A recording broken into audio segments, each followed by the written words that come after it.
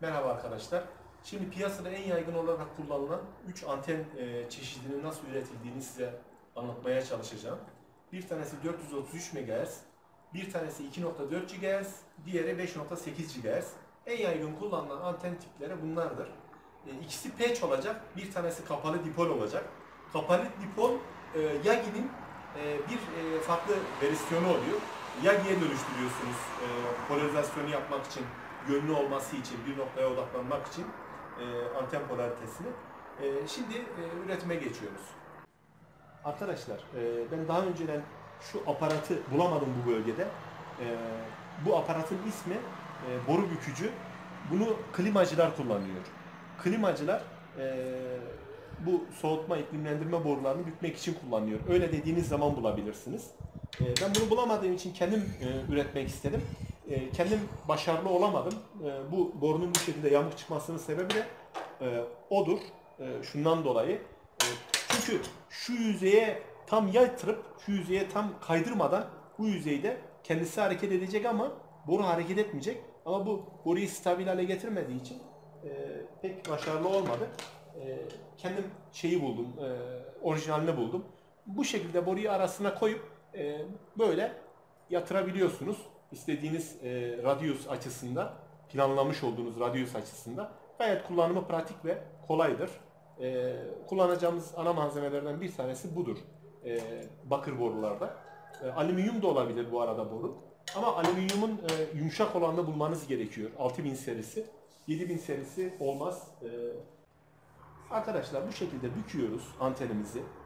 E, büktükten sonra iki tane nokta çıkarıyoruz içeriye. E, daha sonra balon kısmını ekliyoruz ve balonun e, yine antenimizdeki çıkışı buradan alıp götürüyoruz. Bu e, ilk e, yapmış olduğum versiyonlardan bir tanesi. Daha sonra daha şık olsun dedim. E, şu şekilde yaptım. Daha şık, daha güzel görünsün diye. E, yalnız burada yaptığım bir hata var. Şu metal. Şu metal burada olmamalı. E, etki ediyor çünkü antene. E, bu şekilde de e, böyle güzel balonu içerisine koyup e, şöyle güzel estetik bir şekilde e, kullanabiliyorsunuz. İşin ilginç tarafı hazır böyle anten bulamıyorsunuz. E, 433 MHz anten arayın. E, bu şekilde kapalı dipol bulamazsınız. Kapalı dipol nedir? Kapalı dipol şudur. E, bu 1.2 GHz'lik bir anten e, şey, kamera e, anteni eski e, analog sistemlerin. Şurada görmüş olduğunuz kapalı dipol. Bunlar elemanlar e, antenin polarizasyonunu yapıyor bu elemanlar. E, yani polarizasyon dediğim yön. E, antenin e, yönlendirmiş oluyorsunuz bir noktaya. E, buradaki elemanlarla. E, bunun da yine arasında belli bir hesaplama var. Ama şu anda konumuz bu değil. Yagi antenler değil. E, kapalı dipol olarak ben ürettim, kullandım. E, yönsüz olarak. E, bu şekilde de istediğim sonuçları elde ettim. E, diğer bir faktör nedir? E, kablodur. E, özellikle balonda çok önemli kablo. E, neymiş kablomuz? RG58 50 ohmluk bir e, kablo e, kullanmışız burada. E, kablosunu da bulmak zor. E, RG58 öyle hemen gidip bulabileceğiniz bir kablo da değil. İnternetten getirtebilirsiniz. E, ve 5.8 GHz üretmiş olduğum e, patch anten bu. E, bunda da şeyler çok önemli. E, işte bu PCB'nin seramik olması gerekiyor. Türkiye'de yok seramik PCB üreten yer. Yani üretim e, neden üst seviyeli yok? Çünkü alt sanayisi yok. E, ben ama normal PCB'yi bu şekilde e, ürettirdim. E, buradaki kalınlık e, kuralına uyaraktan. E, burası ground kısmı. E, bunlar koparılıyor tabi birer tane. Bunlar tekli. Şu şekilde kullanılıyor. Şu bir tane PCB. Şu, şu bir tane anten böyle bu şekilde. E, gayet taşınabilir, hafif. E, özellikle dronlarda falan çok verimli kullanabilirsiniz bunları. E, bunun da e, verimliliğini birazdan bir cihaz üzerinde göstereceğim. E, 2,5 kilometre menzilden ben e, bununla görüntü aldım, görüntü aktardım. Arkadaşlar bu görmüş olduğunuz kapalı dipol antenin e, tasarımı. E, burada gördüğünüz e, bir adet e, bükülmüş bakır ya da alüminyum borudan meydana geliyor. E, ölçekler var burada, radyusu var, ondan sonra e, balon kısmı var burada. e, koaksiyel kabloyla. E, sistem böyle basit bileşenlerden meydana geliyor. Bir herhangi bir hassasiyet e, kısmı şimdi hesaplamayla vereceğim e, noktada var hassasiyet. E, onun dışında e, gayet e, bizim yapmış olduğumuz e, anten böyle 435, 433, 436 band aralığında kullanılabilir. E, nırk değil yani illa bu olacak diye bir şey değil. E, biraz ucu açık, e, ölçekler de öyle. Ucu açık ölçekler. Buradaki tüm kurallara uymadık ana hususlar hariç. Ama antenimiz bu şekilde. Şimdi bunun hesaplamasına geçiyoruz. Arkadaşlar önemli bir detayı belirteyim. Balonda kullanacağınız kablonun, koaksiyel kablonun tipi değiştikçe burada ölçüsü de değişecektir. E, ona göre bunu da buradan e, not edeyim. Evet arkadaşlar burada ise e, anten tasarımının e, ölçü parametrelerini belirliyoruz bu yazılımla. E, bunun e, matematiksel bir formülasyonu var. E, o burada hazır uygulanmış birçok amatör e, radyoculukla uğraşan sitelerin e, sitelerde yer alır e, bu. Bunun linkini de paylaşacağım.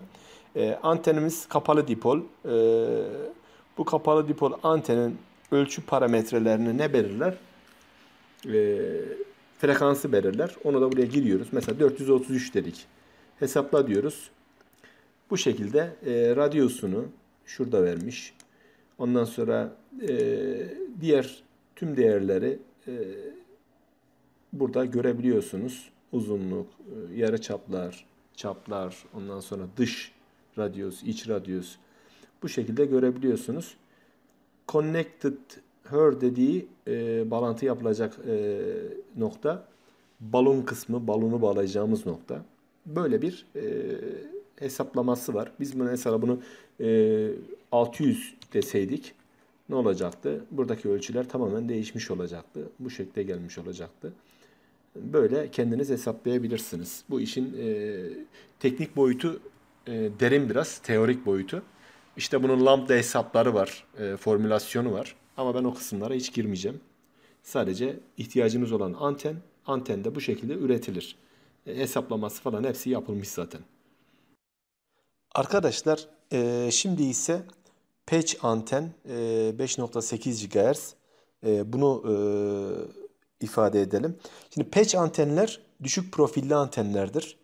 E, tek farkı e, bu dronlarda olsun, yarış araçlarında olsun hafif olmasından ötürü e, kullanılmak istenmesidir.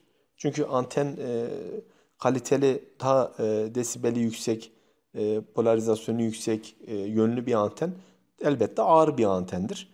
Ama patch antenin kullanılmak istemesinin sebebi e, hafif olmasıdır e, ve ekonomik olmasıdır. Ama e, bana iki tane patch anten lazım dediğiniz zaman e, sıkıntılı e, ürettirmek. Çünkü en az e, 30-40 tane ürettirmeniz gerekiyor. E, bu sebepten ötürü bir de Türkiye'de o kaliteyi yansıtamıyorlar. E, PCB'nin kalınlığı, yüzeyin seramik olması bunlar yapılmıyor. E, ya da benim bildiğim yapan yer yok. Ben araştırdığımda e, o tür noktalar yoktu.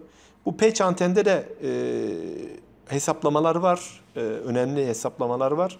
E, ama e, o kısımlarına yine girmeyeceğim. Ben bu e, tasarım dosyasını, benim kendi tasarımım e, size paylaşıyorum direkt. Siz bunu alıp ürettirebilirsiniz. E, ön yüzü ve arka yüzü var. E, o şekilde zaten üst üste indirmiş durumdayım. Küçük bir anten. E, bu şekilde kendiniz e, bunu deneyebilirsiniz. Arkadaşlar bu arada e, ben bu 5.8 GHz'de e, bir e, kameranın görüntüsünü bu e, gördüğünüz e, transmitter e, 600 mW e, bunun görüntüsünü 2,5 kilometreye gönderdim bu patch antenle. Yani e, düşük profilli ama e, bazı çözümlerinizde de e, çok güzel seçenek sunuyor. Özellikle dronlarda aktif olarak kullanılabilir. E, bu ise e, bizim e, 2.4 GHz'imiz. E, 2.4 GHz uygulamalarında yine bunu kullanabilirsiniz. E, bunun da yine e, tasarımı bana ait. Tasarım dosyasını paylaşıyorum. E, ürettirip güle güle kullanabilirsiniz. Teşekkür ediyorum. Bu RF konusunu da burada noktalıyorum. E, bundan sonraki e, videolarım inşallah optik üzerine olacak. Hayırlı akşamlar diliyorum.